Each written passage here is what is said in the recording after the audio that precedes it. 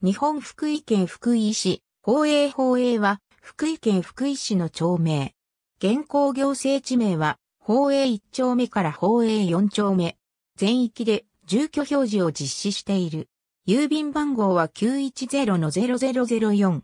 福井市の中央部、阿諏訪川の中流域に位置し、不死町ブロックに属している。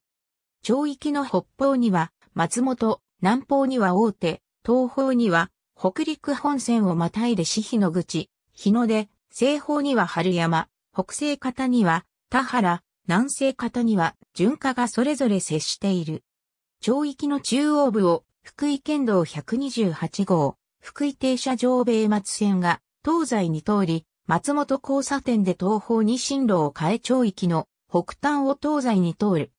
また、西端部には、福井県道30号福井丸岡線が南北に通り、南端部には、福井県道114号吉野福井線が東西に通っている。中央部には、国の名勝に指定されている旧福井藩主の松平家の別邸の陽光館庭園が所在しており、隣接して福井市立郷土歴史博物館がある。